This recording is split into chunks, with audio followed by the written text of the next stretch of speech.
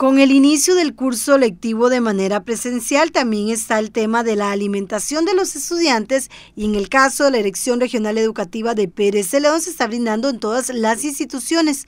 Son 253 comedores escolares que están brindando el servicio a los alumnos. Eh, a partir del curso lectivo 2022 estamos retomando los comedores con el servicio habitual.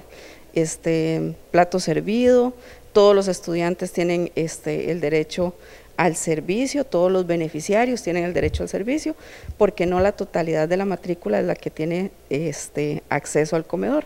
De los 35.200 estudiantes aproximadamente que tiene esta dirección regional, eh, 31.500 aproximadamente son los que tienen acceso al comedor por un beneficio que otorga PANEA. Eso a nivel de toda la dirección regional a toda la Dirección Regional de Pérez La Regional Educativa tiene 36.498 estudiantes. Sin embargo, no todos tienen acceso al beneficio del programa de alimentación y nutrición, solo alrededor de 31.500.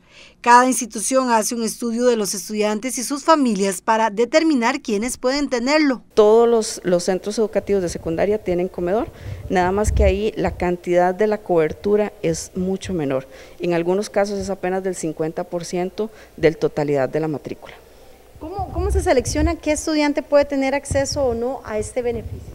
Es un estudio que realizan a lo interno, hay un comité en cada centro educativo y este, se llena un formulario. De hecho, ya algunos centros educativos de secundaria están haciendo el llamado, no solamente para otorgar las, las becas de transporte, sino también las de comedor.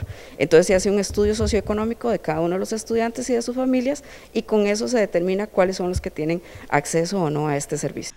Muchos de los comedores estuvieron cerrados durante la pandemia porque se entregaban paquetes de alimentos pero desde el 2021 muchos comenzaron a brindar el servicio a los niños y jóvenes que asistían de manera presencial. Algunos centros educativos, muy pocos, este, me están reportando que tienen algún tema de eh, problema con las prórrogas de las cocineras, sin embargo lo estamos resolviendo y eso no quiere decir que no se esté brindando el servicio. De alguna manera las juntas han hecho lo posible porque el servicio se esté brindando en todos los centros educativos de esta región.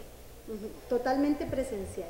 Totalmente presencial, correcto. Para este 2022 el presupuesto en cuanto a alimentación es de más de 3.707 millones de colones, mientras que en el caso de las servidoras, es decir, las 236 cocineras, el presupuesto es de 1.143 millones de colones.